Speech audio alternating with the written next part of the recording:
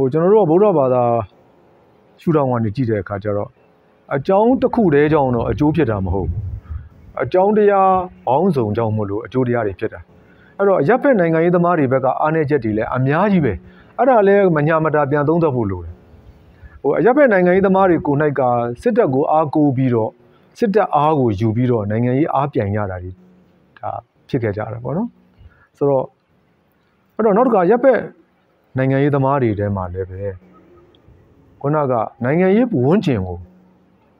အားကောင်းလာအောင်လုပ်ရမယ်အစားခုနကပုံကိုရေးထင်ပေါ်ကြော်ကြားမှုပုံကိုရေးကိုးကွယ်စည်းကပ်မှုတွေကိုပဲဖောက်မထွက်နိုင်တဲ့အခြေအနေမျိုးတွေကျွန်တော်တို့တွေ့ရတယ်အဲ့တော့အဲ့ဒါကြတော့ဟိုတက်က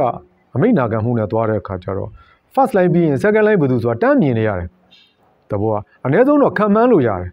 ဟလာကျွန်တော်တို့ဟိုပြီးခဲ့တဲ့ဒါ စစ်အစိုးရလက်ထက်မှာပဲနိုင်ငံတကာခရီးစဉ်တွေမြန်မာနိုင်ငံကိုနိုင်ငံတကာဧည့်သည်တွေလာလို့ရှိရင်တခါတည်းမိတ်ဆက်ပေးထားတယ်ဒါဒါကျွန်တော်ပြီးရင်ဒါ तू तू तू ပြီးရင် तू ဆိုတာတခါတည်းတန်းစီပြီးတော့ဒါတက်ဖွဲ့စည်းပုံအရာပြထားတယ်ကျွန်တော်တို့ဒီအရက်ဖက်နိုင်ငံရေးသမားတွေမှာဘသူပြီးရင်ဘသူပါဆိုတဲ့ကိစ္စမှန်းလို့လည်းမရဘူးအဲ့ဒါပြီးတဲ့အခါကျတော့ဒါပြည်သူကဆုံးဖြတ်လိုက်မယ်လို့ဘာလို့ဆိုတဲ့ဟာမျိုးဟိုပြောရရင်တော့တိတ်ရေဘူးရဆန်တဲ့ဟိုပြောရရင် ကိုကိုတိုင်းစီစဉ်ရမယ့်ဟာကိုရှောင်လွှဲတဲ့အဖြေမျိုးတွေနဲ့လူတို့ကလည်းအဲ့ဒါကိုပဲအာဟုတ်လာပြီဒါပြည်သူကြီးပဲပြည်သူကြီးပဲလို့ပြောရင်ဟုတ်အောင်မေ့နေတယ်တကယ်တကယ်တော့မြန်မာနိုင်ငံရဲ့နိုင်ငံရေးပြဿနာကပြည်သူရဲ့ပြဿနာမဟုတ်ဘူးခေါင်းဆောင်မှုပြဿနာပဲအဲ့တော့ခုနကပုံကိုကြီးအားကောင်းတဲ့လူလူထောက်ခံမှုရတဲ့ခေါင်းဆောင်တွေဒါဟိုတုန်းကဆိုဥနုပေါ့ဟုတ်လားအဲ့ဒီကနေပြီးတော့ဒါဒီဘက်ခက်ဒါဒေါန်ဆန်းစုကြည်အထိပေါ့ဆိုတော့ သူတို့တွေရဲ့ဆုံးဖြတ်မှုကနိုင်ငံရဲ့အဆုံးဖြတ်ဖြစ်သွားတာပဲပြည်သူရဲ့ဆုံးဖြတ်လို့သာပြောတာလေအဲ့တော့ပြည်သူကသူက9နှစ်တခါမဲပုံနဲ့မဲထည့်ပြီးတာနဲ့ပြည်သူကလှည့်မကြည့်တော့ပြီးသွားပြီဒါသူကပုံကိုရေးယုံကြည်မှုကြောင့်ဟောပါဟောဟာလာဒါဟာဒါသူဆုံးဖြတ်လိမ့်မယ်ဆိုပြီးတော့ဖြစ်သွားတော့အဲ့ဒီ9နှစ်စလုံးကိုတကယ်ဆုံးဖြတ်တာအားလုံးကအဲ့ဒီခေါင်းဆောင်ကဆုံးဖြတ်တာဆိုတော့ဒါကြောင့်မလို့ဟိုဒီမိုကရေစီမှာပြည်သူရဲ့ထောက်ခံမှုရွေးချယ်မှုအရေးကြီးသလိုခေါင်းဆောင်တွေရဲ့အမျှော်အမြင်နဲ့ သူတို့ရဲ့ဥဆောင်မှုအရေးအချင်းကအဆုံးဖြတ်ဖြစ်သွားတယ်ဆိုတာကိုတော့ကျွန်တော်တို့အတိမတ်ပြုဖို့လိုတယ်လက်ခံဖို့လိုတယ်အဲ့တော့အဲ့ဒီခါမှာလည်းပဲကျွန်တော်တို့ပြောနေတာစုပေါင်းခေါင်းဆောင်မှုပေါ့ collective leadership ကိုကျွန်တော်တို့ကရောက်အောင်သွားရမယ်ဟိုကူကခေါင်းဆောင်ခေါင်းတွေအပြိုင်ရိုင်ထွက်လာရမယ်အစားဟိုပြိုင်ပက်ကင်းခေါင်းဆောင်ကြီးတွေပေါ့ဆိုတော့သူတို့ကပဲတိုင်းပြည်ရဲ့ကံကြမ္မာတစ်ခုလုံးကိုဆုံးဖြတ်ပေးသွားတာပေါ့နော်ဆိုတော့အဲ့ဒါကိုကျွန်တော်တို့ကောင်းကောင်းသင်ခန်းစာပြန်မယူနိုင်ရင်တော့ ဟိုဒီတန်တရား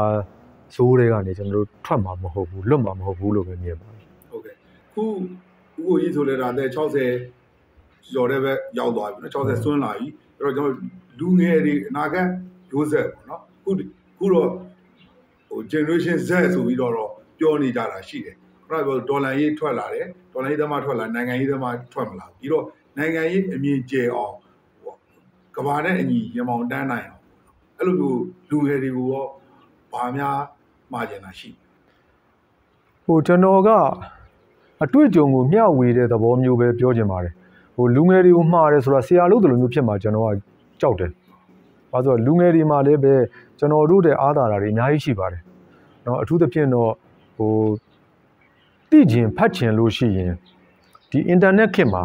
အလွယ်တကူပေါ့နော်အချက်လက်တွေရှာဖွေစုဆောင်းနိုင်တဲ့အခွင့်အလမ်း ဒါကျွန်တော်တို့ခေတ်မှာမရှိခဲ့တဲ့ဟာပေါ့အဲ့တော့ဟိုလူငယ်လို့ပြောရင်လည်းပဲစစ်တပ်ထဲကလူငယ်မျိုးဆက်တွေကိုပါထည့်ပြောရလိမ့်မယ်။အဲ့တော့ကျွန်တော်တို့ကလူငယ်လို့ပြောရင်ကျွန်တော်တို့ကဒီဒီအရက်ဖက်နိုင်ငံရေးနယ်ပယ်ကိုပဲတွက်နေတယ်။အဲ့တော့တကယ်ကတိုင်းရင်းသားတော်လှန်ရေးအင်အားစုတွေထဲမှာလည်းပဲမျိုးဆက်တစ်တွေလူငယ်တွေရှိတယ်။တက်ထဲမှာလည်းလူငယ်တွေရှိတယ်။ဆိုတော့သူတို့အားလုံးကတမိုင်းနဲ့ပတ်သက်တဲ့အမြင်ကို သူတို့ခေါင်းထဲကိုရိုက်ထည့်လိုက်တဲ့ဒေါင်းတောင်းတွေကနေပြီးတော့ဒါတို့သမိုင်းကဒီလိုကွာလို့ဆိုတဲ့ဟာကိုအဲ့ဒီတိုင်းလက်မခံဖို့ကျွန်တော်ကအရင်ဆုံးအကြံပြုခြင်းတယ်ကျွန်တော်ကိုယ်တိုင်သမိုင်းဇက်ကောင်တကောင်ဖြစ်လာတဲ့အခါကျတော့ပြောမကောင်းလို့ပြောမထွက်လို့မြုပ်ချခဲ့တဲ့အဖြစ်ပြက်တွေကထုတ်ပြောတဲ့အချက်လက်တွေတဲ့အစပေါင်းများစွာများတယ်နောက်တစ်ခုကအာနာအပေါ်ကြီးရတဲ့သူကတမိုင်းစာအုပ်တွေပြုစုတယ် နောက်ဆုံးចောင်းသုံးပြဋ္ဌာန်းစာအုပ်တွေဖြစ်သွားတယ်ဖြစ်သွားတော့ကျွန်တော်တို့ကြိုက်ကြိုက်မကြိုက်ကြိုက်အဲ့ဒါဖြေမှဆံမေပွဲအောင်တာဆိုတော့အဲចောင်းသုံးသမိုင်းပြဋ္ဌာန်းချက်တွေဟာတခုတည်းသောအမှန်တရားလို့ဖြစ်နေတယ်အဲ့တော့အဲ့ဒီစာအုပ်တွေကိုကြော်လွန်ပြီးတော့တမိုင်းဆိုင်ရာအဖြစ်အပျက်တွေကိုပတ်မှန်ကန်ကန်သင်ခန်းစာယူနိုင်ဖို့အတွက်အုံနောက်ဖွင့်ထားဖို့လိုမယ်လို့မြင်တယ်ဆိုတော့ကျွန်တော်တို့ကိုယ်တိုင်လည်းတိုင်းပြည်ကြောက်ထဲကြဖို့လက်နှလုံးအလိုမှာဟာလာနိုင်ငံတော်အာဏာကိုရယူလိုက်ရသည်ဆိုအဲ့အော်ချက်ခဲ့ရတာကိုကျွန်တော် ဇက်ကောင်တကောင်ဖြစ်လာတဲ့သမိုင်းထဲမှာထဲထဲဝင်ဖြတ်လာတဲ့အခါကျတော့အဲ့ဒီခစ်ကခေါင်းဆောင်ကြီးတွေနဲ့တက်ရှိတင်ချားကျွန်တော်တို့ကြုံခွင့်ရလိုက်တဲ့အခါမှာမဟုတ်ဘူးတခြားရှုတော့နေအများကြီးပဲဆိုတော့အဲ့ဒါမျိုးကိုတတ်ထဲကလူငယ်မျိုးဆက်တွေရောအရက်ဖက်ကောနောက်တစ်ခါတိုင်းရင်းသားဒေတာအသီးသီးကလူငယ်တွေရောဟိုအစ်စ်မြင်သမိုင်းပေါ့ တခြားရှုတော့နေရနေမြင်တဲ့သမိုင်းအချက်လက်တွေကိုကြဲကြဲပြန့်ပြန့်အုံနောက်ဖွင့်ထားပြီးလေ့လာဖို့လိုမယ်လို့ကျွန်တော်တိုက်တွန်းချင်တယ်ဟုတ်ကဲ့နောက်တစ်ခုကတော့သူကတမိုင်းကပြီးသွားပြီတမိုင်းကပြန်ပြင်လို့မရအောင်သို့တော့မှန်မှန်ကန်ကန်သင်ခန်းစာမယူနိုင်ရင်အနာဂတ်ကိုတည်ဆောက်လို့မရအောင်ဒါကြောင့်မလို့ကျွန်တော်အနာဂတ်သွားမယ်ဆိုရင်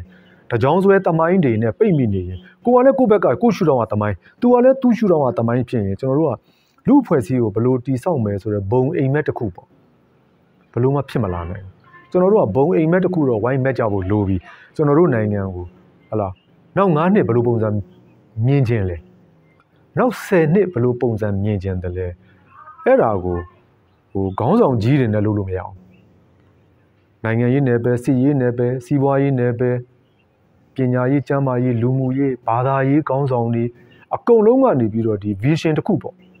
ဘုံအမြင်တစ်ခုကျွန်တော်တို့နိုင်ငံရဲ့အနာဂတ်ကိုပုံဖော်ထားတဲ့မြင်ကွင်းတစ်ခုကိုဝိုင်းပြီးအိမ်မက်မက်ကြဖို့လိုတယ်အဲ့ဒါလိုမဟုတ်ဘဲနဲ့တယောက်အိမ်မက်ကိုတယောက်ကခြေဖြတ်ပြစ်ဖြတ်စည်းပြစ်ပြီးတော့ဘာအိမ်မက်မှမကြံတော့တဲ့ဟိုစစ်တလင်းပြင်ကြီးတော့ကျွန်တော်လဲကြောက်တယ်နောက်ဆုံးအဲ့ဒါလိုများဖြစ်သွားပြီဆိုရင်ပြီးခဲ့တဲ့လွတ်လပ်ရေးနေ့မှာကျွန်တော်ကောင်းတဲ့အတွေးတစ်ခုပေါ်တယ်မြန်မာနိုင်ငံလွတ်လပ်ရေးကိုလက်မှတ်ထိုးပြီးယူခဲ့တဲ့ဦးနုပေါ့ ဝန်ကြီးချုပ်ဦးနုနုအတလီစာချုပ်နဲ့လွတ်လပ်ရေးယူခဲ့တယ်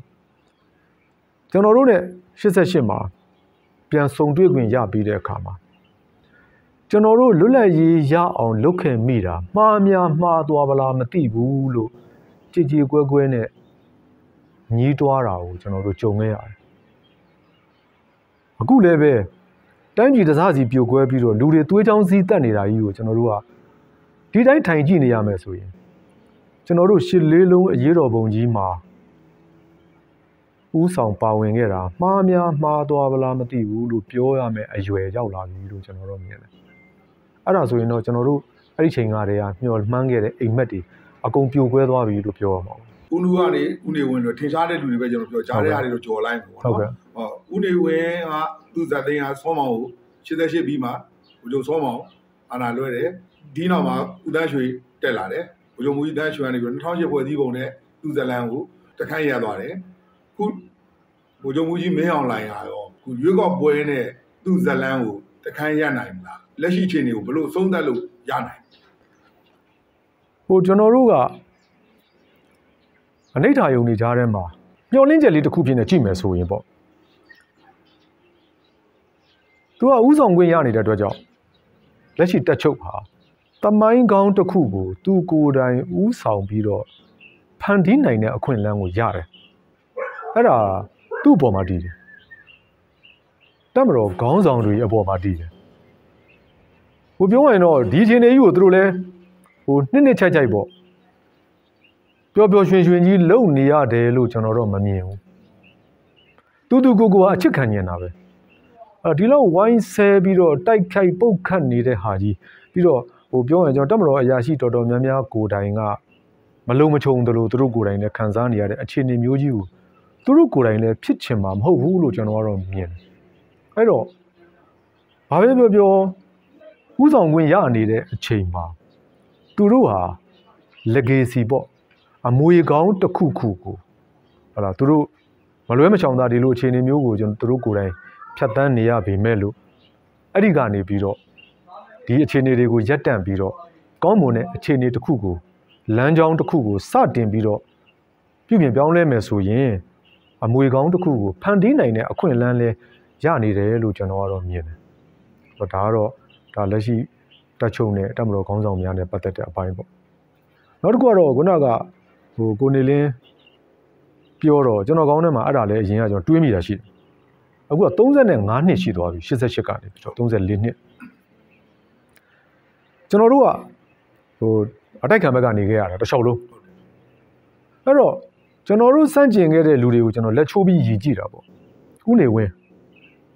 ဥစိန်လွင်ဒေါက်တာမောင်မောင်ဘိုးချုပ်မူကြီးစောမောင်ဘိုးချုပ်မူကြီးတန်းရွှေဦးသိန်းစိန်လက်ရှိဘိုးချုပ်မူကြီးမင်းအောင်လိုင်းခုနှစ်ယောက်ပြောင်းသွားပြီ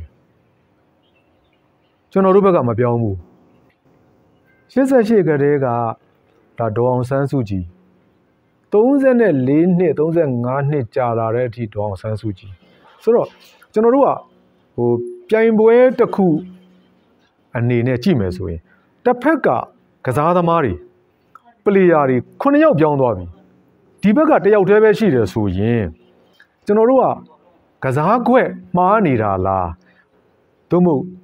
ကစားသမားမှားနေတာလား နှစ်ဖက်စလုံးကိုဒါတော်တော်သုံးသပ်ဖို့ကောင်းတဲ့ကာလတစ်ခုလို့မြင်။ဘာလို့ဆိုတော့ဟိုဗိုလ်ချုပ်အောင်ဆန်းနဲ့ကျွန်တော်ပြောနေနှိုင်းရှင်တာပေါ့။ဗိုလ်ချုပ်အောင်ဆန်းက1936ဒုတိယကျောင်းသားတပိတ်ကနေစပြီးတော့ဒါနိုင်ငံရေးတွေကိုဒါဝင်လာတာပေါ့။1940ခွန်မှာသူ့ရဲ့နိုင်ငံရေးလုပ်သက်က17နှစ်ပဲရှိတယ်။ကဘာစစ်ကာလာကြီးကိုဖျက်သွားတာ။သူ့ကိသူခါတုန်းကလည်းနိုင်ငံရေးဂိုင်းကနအကွဲပြေပေါင်းများစွာကိုဖျက်သွားတာ။ လုပ်သက်17နှစ်နဲ့ရလက်တွေပေါ့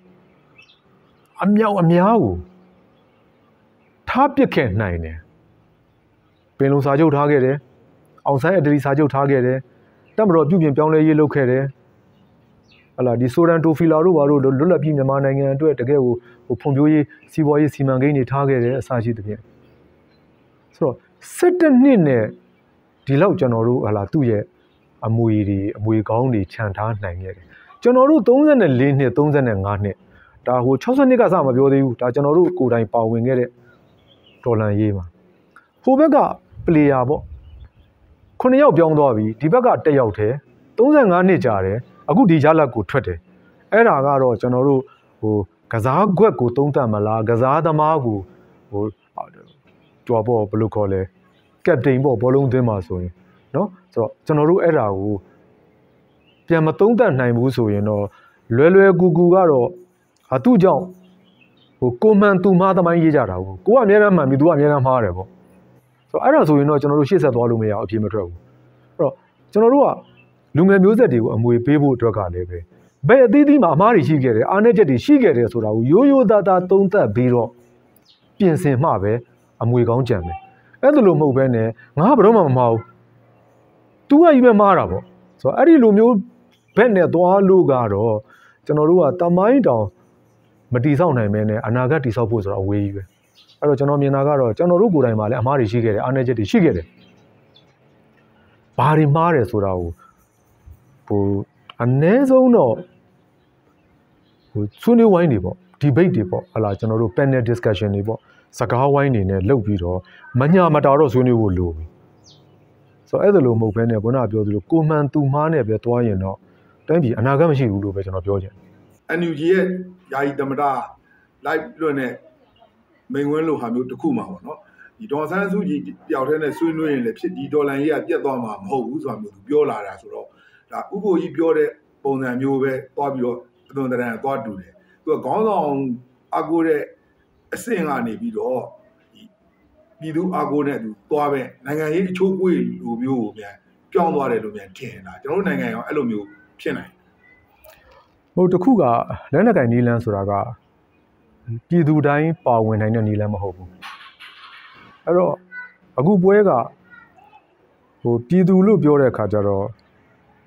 တစ်ဖက်ကကျတော့ပြည်သူကဟိုစစ်တပ်ကိုတော့မကြိုက်ဘူးစစ်တပ်အုပ်ချုပ်တာကိုမကြိုက်ဘူးဒါပေမဲ့ ဟိုမရေမရာနဲ့မလုံမချုံနဲ့ဖြစ်နေတဲ့ဘဝကြီးကိုလည်းမလိုချင်တော့ဘူးဆိုတော့ပြည်သူကတော်တော်များတယ်ကျွန်တော်အနီးနားတစ်ဝိုက်မှာနောက်နှစ်နှစ်နီးပါးကြာတဲ့အခါကျတော့လူတွေကဒီတိုင်းကိုဗစ်ကြောင့်ဟိုအိမ်ထဲမှာပိတ်မိနေတာရောဒီအာနာထိမ့်သိမ့်မှုနဲ့ပတ်သက်ပြီးတော့နောက်ဆက်တွဲမလုံခြုံမှုတွေနဲ့ပိတ်မိနေတာတွေရောလူတွေကအယံပင်ပန်းနေပြီအဲ့တော့အခုအချိန်ကြီးကိုလည်းကြည့်လိုက်တော့ဟိုစပြီးတော့ ဖေဖော်ဝါရီတရက်နေ့စကြတဲ့ကဟိုနှစ်ပတ်ဆိုပြီးပြီးတစ်ပတ်ဆိုပြီးပြီးနဲ့ဖြစ်လာလိုက်တဲ့ဟာဒီအပေါ်မှာလဲဒါပြည်သူတွေကြားထဲမှာဟိုမရေရာမှုတွေကပိုးပိုများလာတယ်အဲ့တော့နောက်ဆုံးကြတော့ဘာဖြစ်လာလဲဆိုတော့သူကလက်နက်ကင်တိုက်ပွဲရဲ့သဘောကအရှုံးနိုင်တဲ့စကားပြောသွားပြီအဲ့တော့တွဲဆုံဆွေးနွေးမယ်ဆိုရင်ရောဘယ်အခြေခံမှာတွဲဆုံဆွေးနွေးမှာလဲအဲ့တော့နှစ်ဖက်စလုံးကပြောထားတာတွေကပြောရင်လက်လွန်ချီလွန်နေပြောဆိုထားကြတာဖြစ်တော့ တွဲဆုံဆွေးနွေးပွဲသွားရင်တောင်မှဖြစ်နိုင်ခြေကိုပြန်ပြီးရှာဖွေဖို့တော်တော်ခက်လာတယ်နောက်ဆုံးပြောရင်ဒေါန်ဆန်းစုကြည်ကိုတိုင်က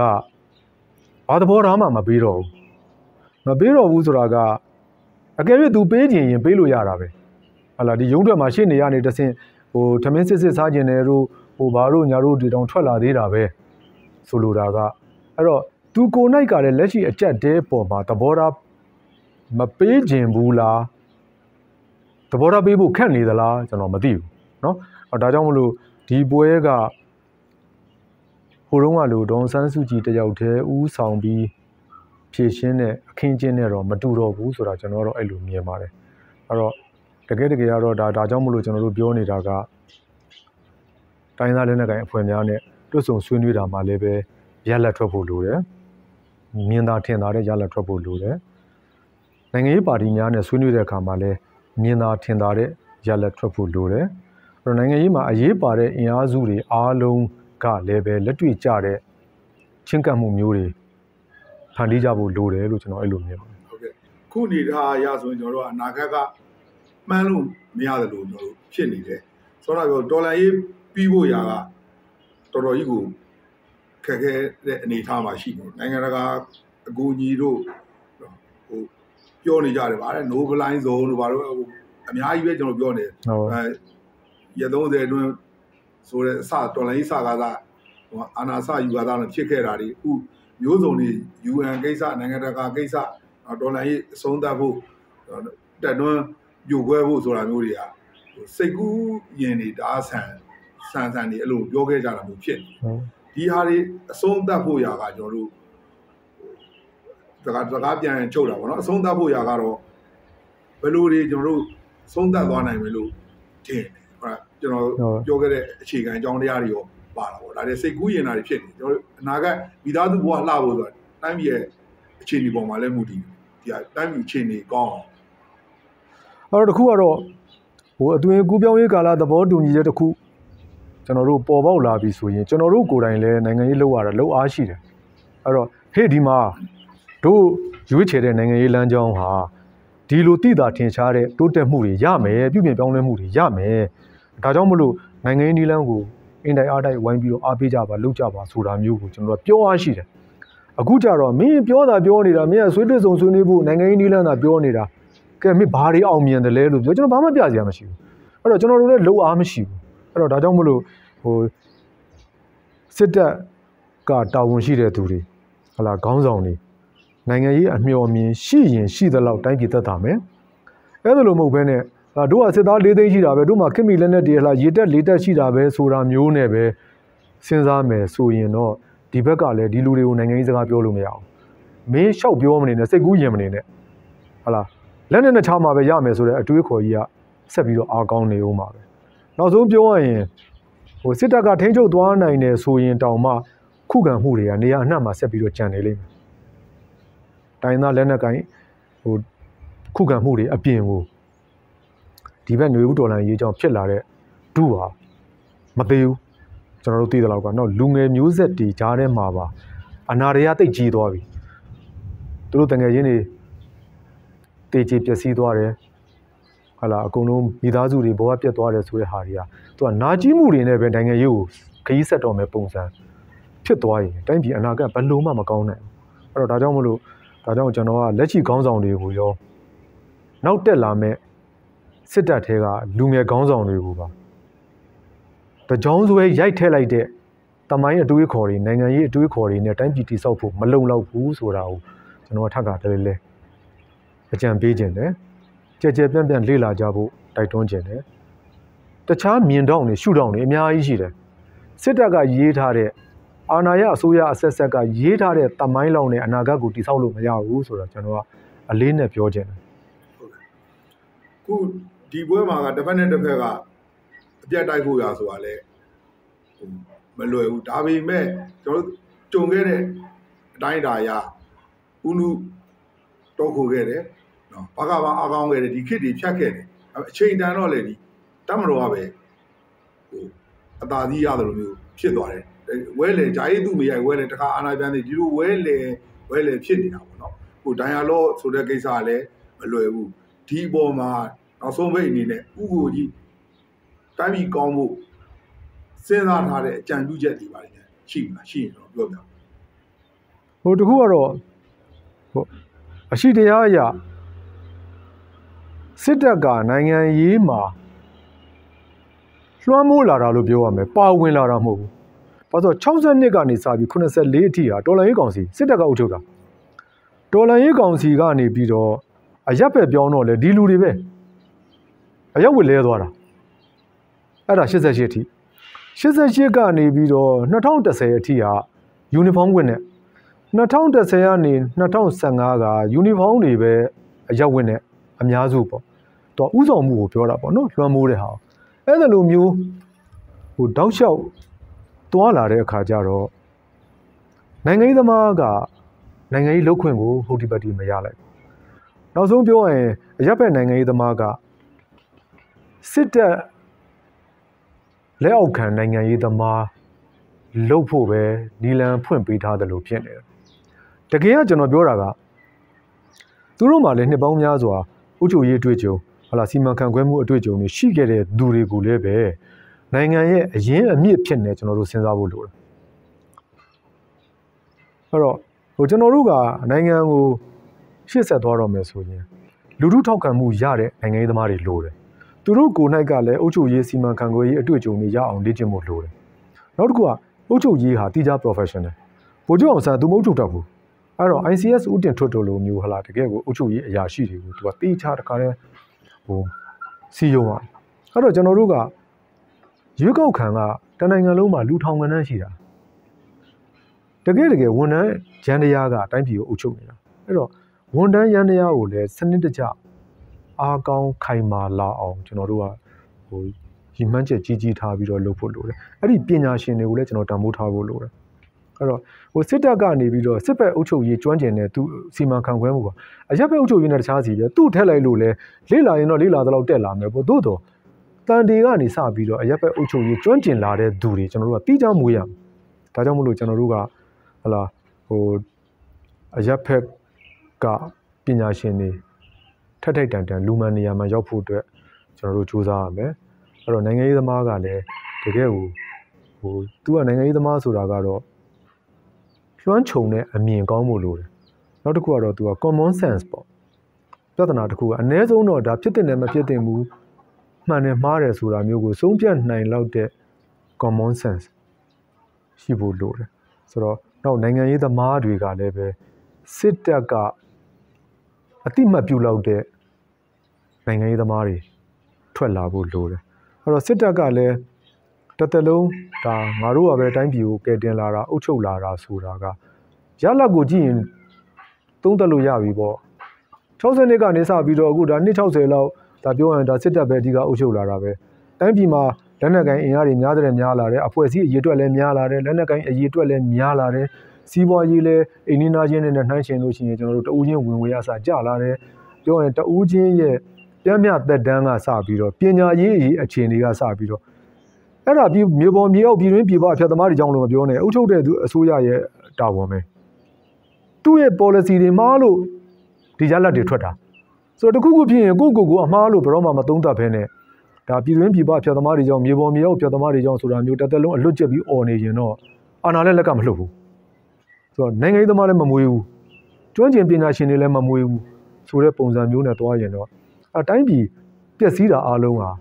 အုပ်ချုပ်တဲ့အစိုးရအဆက်ဆက်မှာတာဝန်ရှိတယ်အဲ့ဒါကျွန်တော်တို့စင်ကြေပေးလို့မရအောင်ကျွန်တော်တို့အဲ့လိုပဲမြင်တယ်အဲ့တော့ကျွန်တော်တို့ဘက်ကလည်းအရက်ဖက်နိုင်ငံရေးသမားတွေကထိတ်ထိတ်တန်တန်တာဝန်ယူနိုင်အောင် ကိုကိုကိုပြင်ဆင်ကြဖို့လိုတယ်အဲ့တော့စစ်တပ်နဲ့ကတော့ကျွန်တော်တို့ကကာလတစ်ခုထိကတော့လက်တွဲပြီးတော့အပြောင်းလဲကိုတွားရလိမ့်မယ်အဲ့ဒီကနေပြီးတော့မှတဖြည်းဖြည်းနဲ့စစ်တပ်ကနိုင်ငံရေးကတဖြည်းဖြည်းဆုတ်ခွာအဲ့တော့ကျွန်တော်တို့ကဒီဘက်ကကျွမ်းကျင်မှုဆိုင်ရာအရေးချင်းတွေမြင့်မြင့်လာအောင်တစ်ဖက်ကစူးစမ်းအဲ့ဒါကတော့ဟိုပြောရင်စီးပွားရေးမှာလည်းပဲတကယ်ကိုပုံပန်းတကြဖြစ်တဲ့ဈေးကွက်စီးပွားရေးပေါ်လာဖို့လိုတယ်ဒီခရိုနီ လက်တင်ရာဆိုတော့ခေါ်တဲ့စီးပွားရေးဟာတိုင်းပြည်ရဲ့တယံဇာတတွေတဖြည်းဖြည်းနဲ့ကုန်လာသွားတယ်ချမ်းသာတဲ့လူကဘလောက်ချမ်းသာမှမသိချမ်းသာပြီးတော့ဟိုဆင်းရဲတဲ့လူကကုန်းကောက်စရာမရှိတဲ့အခြေအနေကြီးကနောက်ထပ်ထပ်ပြီးတော့ဟိုလူမှုရေးစီးပွားရေးပဋိပက္ခတစ်ခုကိုထပ်ပြီးတော့ဥတည်သွားမှာနိုင်ငံရေးနယ်ပယ်ကတည်းမဟုတ်ပဲနဲ့ဆိုတော့အဲ့ဒါတွေကိုဘယ်ပေါင်းစုံကနေပြီးတော့ပူးပေါင်းဆောင်ရွက်နိုင်မဲ့အခင်းချင်းတစ်ခုလိုတယ်လို့ကျွန်တော်တို့မြင်ပါတယ်ဟုတ်ကဲ့ဦးကိုကြီးပြောတာလူမှန်နေရာမှန်ဖြစ်ဖို့နဲ့တူတာတွဲလို့မတူတာခွဲလို့ ဆိုတဲ့သဘောထားမျိုးကျွန်တော်ကောက်ချက်ဆွဲလို့ရပါတယ်ဆိုတော့ကျွန်တော်တို့ခုလိုပွဲဆောင်မြန်မာနဲ့ပြည်စုံမြန်မြန်ဝင်ပြည့်တဲ့အတွက်ထူးကျေးဇူးတင်ပါတယ်နောက်ဘက်ဒီလည်းကျွန်တော်တို့ဆက်ပြီးတော့နိုင်ငံရေးစကွိုင်းလေးတွေ